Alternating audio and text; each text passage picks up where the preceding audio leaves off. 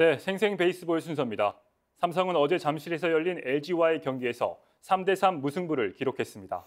6이닝 3실점한 선발 백정현은 평균 자책점 1위 자리를 굳건히 했고 삼성 역시 리그 2위를 유지했습니다. 경기 주요 장면 함께 보시죠. 어제는 잠실에서 2위 삼성과 3위 LG가 맞붙었습니다. 평균 자책점 1위 백정현이 선발 출전합니다. 1회 LG에 3치점을 내준 삼성은 2회 초 2사 1, 2루에서 김상세 적시타로 균형을 맞춥니다. 3회 초 오재일이 전세를 뒤집는 적시타까지 때려냅니다.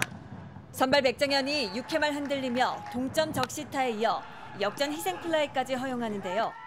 하지만 뒷심의 삼성, 전날 경기에 이어서 이번에도 9회 동점을 만들어냅니다. 이원석, 박승규의 연속 안타로 만든 1사 1-3루 기회에서 김지찬이 땅볼을 때려내며 다시 경기는 3대 3. 9회 말 마운드에 오른 노승환은 1사 말루 위기까지 몰렸지만 결국 점수 내주지 않았습니다. 최종 스코어 3대 3.